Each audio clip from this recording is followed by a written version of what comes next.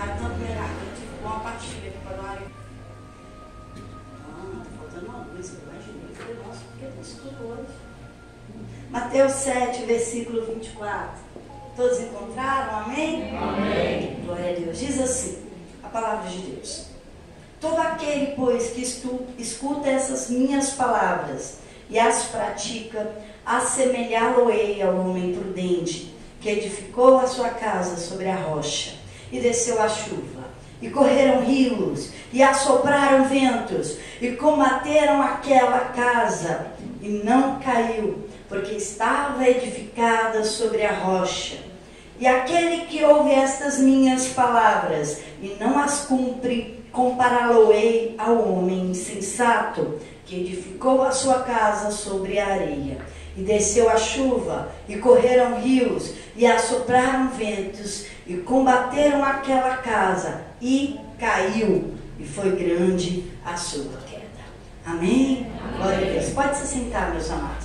Vou precisar depois da ajuda dos obreiros, de alguns que eu vou chamando vocês. A hora que eu fizer assim, vocês vêm, tá? Por gentileza. Tome o seu assento, procure um lugar. Isso. Essa é uma parábola que Jesus contou. Parábola dos dois fundamentos. A parábola do alicerce. Isso. Procure um lugar. Sente. Esperar se sentar para que todos possam ouvir.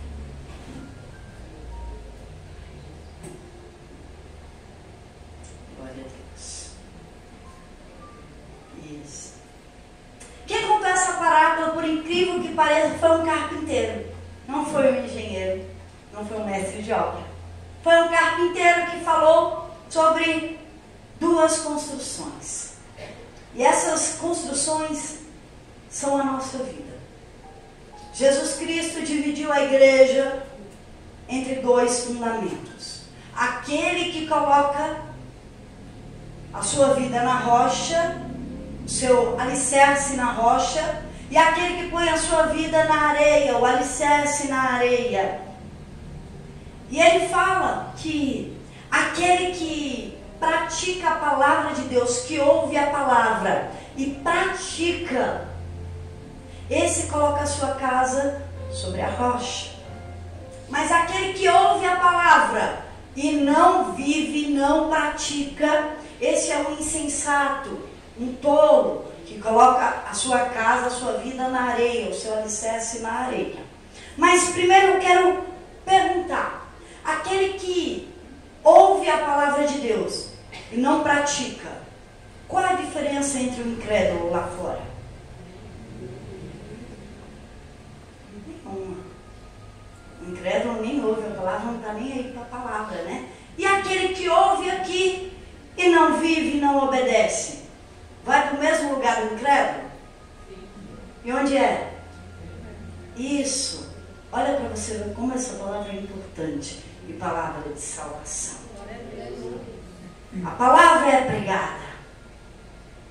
Então, o Senhor fala sobre esses dois construtores que estão na casa de Deus. Não fala do incrédulo, fala de quem ouve a palavra.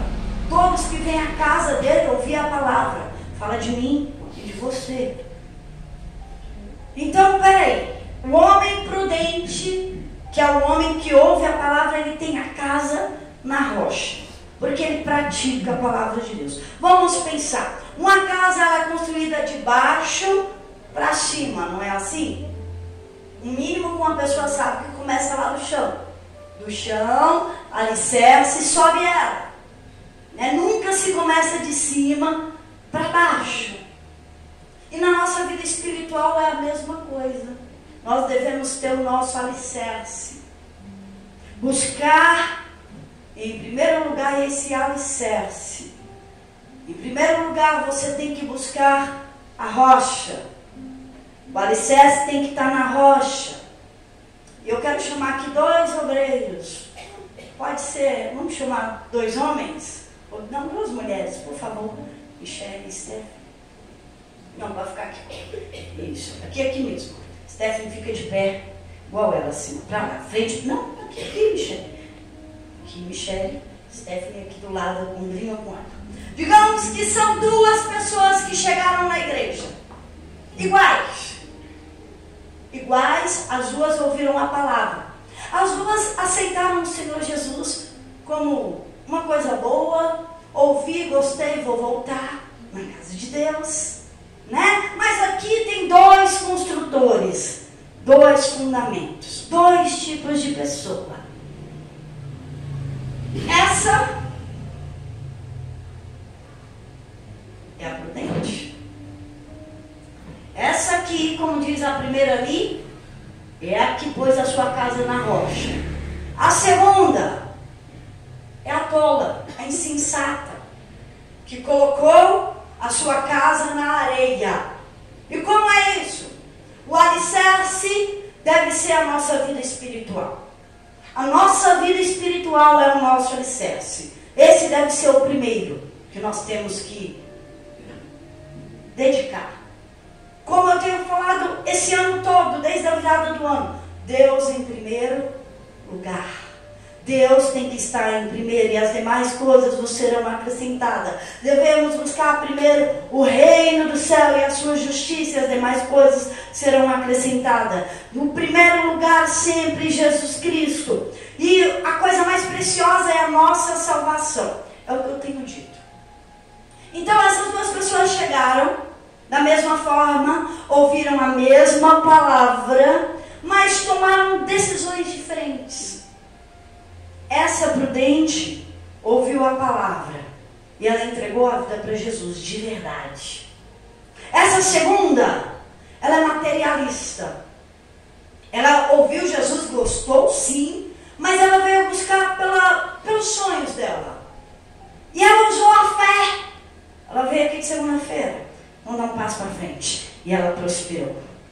Passo grande. Ela arrebentou.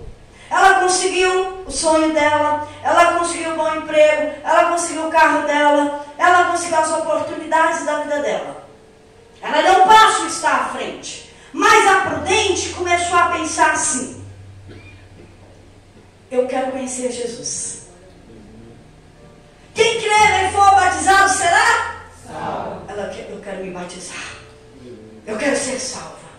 Essa aqui ouviu a mesma palavra. Só que ela pensou, eu quero a restauração do meu casamento. Ela veio de quarta-feira nessa igreja. E Deus restaurou o casamento dela. E essa aqui pensou, ah, eu quero ter um encontro com Deus. Ah, domingo. Domingo eu vou buscar o Espírito Santo com toda a minha força. Eu preciso conhecer Jesus. Eu preciso ter uma experiência com Ele. Dá meio passinho. Isso. Meio. E essa aqui pensou: eu preciso da cura de um familiar meu com câncer. E ela pegou no culto de terça e lutou pela fé, fez a campanha da fé e obteve a cura familiar. Mais um passinho para frente. Aos olhos de todos, ela está indo para frente. Aos olhos de todo, meu, ela só pega o microfone conta testemunho. A mulher testemunha da igreja. Conta benção e mais benção e mais benção. Que glória, eu quero ser como ela. Eu quero ser como ela. Mas, isso é engano. Por quê? Porque pensar que colocar Deus em primeiro lugar e ficar para trás não é. Vocês vão me entender. Colocar Jesus em primeiro lugar e ficar para trás pode levar mais tempo. Porque aqui,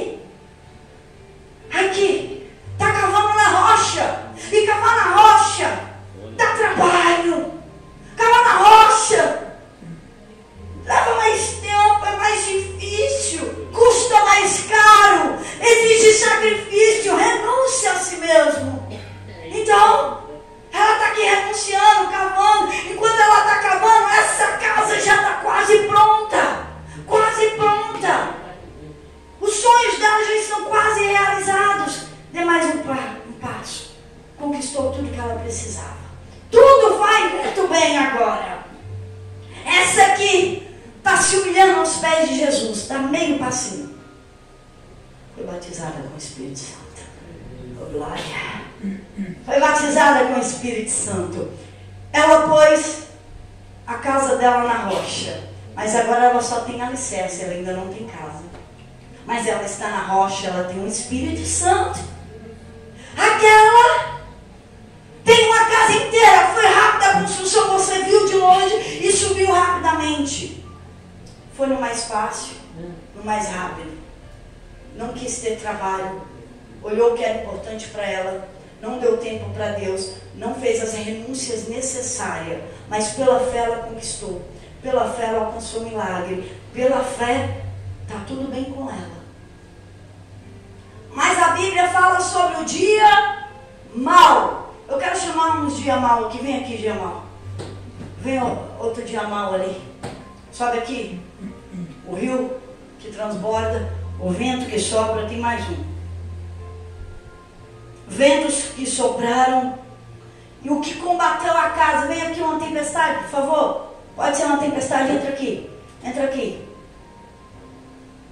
E esse dia mal chega para todos. Todos. Essa aqui. Vai chegar o dia mal para ela, tanto quanto para aquela. Porque o sol nasceu para todos, para o justo e para o ímpio. Para quem está na rocha e quem está na areia. O maligno não faz acepção de pessoas, ele veio para todo mundo da mesma forma. Ele veio combater. E aqui combateu. Aqui sobrou.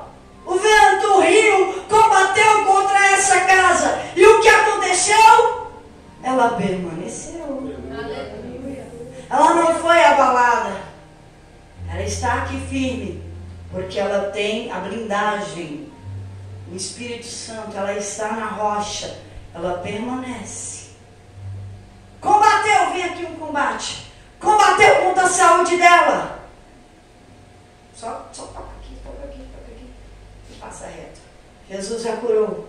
Chegou um problema financeiro. Bate aqui, problema financeiro. Mas Deus, com sua riqueza e glória, suprirá todas as minhas necessidades. Deus supriu. Chegou o abalo no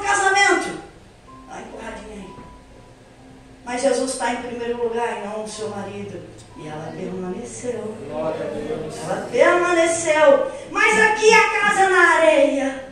Ela tem tudo. Onde está o seu coração, aí está o seu tesouro. E de repente vem saúde. Toca nela aqui, saúde. Não, cá no chão, por favor. Ela foi ao chão. Tá, mas ela sarou. Pode ficar aqui, pensa. Eu estou na igreja, como alguém na igreja fica doente. E chegou o problema financeiro. Costa nela, derruba ela de novo. E ela quis se matar e entrou em depressão. Mas ela superou porque ela ainda continua a vida da igreja e Deus teve misericórdia. Mas vem agora o problema no casamento, o marido. O problema no casamento. Joga ela no chão. Isso. Ela não aguentou porque era a idolatria dela. E sabe o que aconteceu? Passou o vento, a tempestade, levou ela embora. Levem ela embora, pegue pelo braço. E ela caiu e não permaneceu. E foi embora da casa de Deus e do reino dos céus, que ela nunca esteve no reino dos céus. Então, por favor, mulher prudente, vá no lugar dela, aqui, aqui, aqui, no lugar que ela estava. Essa prosperou, essa foi feliz no casamento essa realizou os sonhos e teve Aleluia. saúde. Demorou mais tempo. Mas ela chegou aonde a outra também chegou.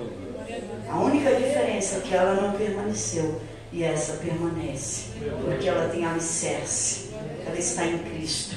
Ela está na rocha. Ela ouviu a palavra. Ela priorizou a Deus em primeiro lugar. Ela praticou a verdade e ela permaneceu. Entra bendita do meu Pai para o reino que está preparado desde a fundação do mundo. E o final ela foi para onde o Senhor preparou, para morar eterna. Amém? Aplauda o Senhor. Obrigada a todos que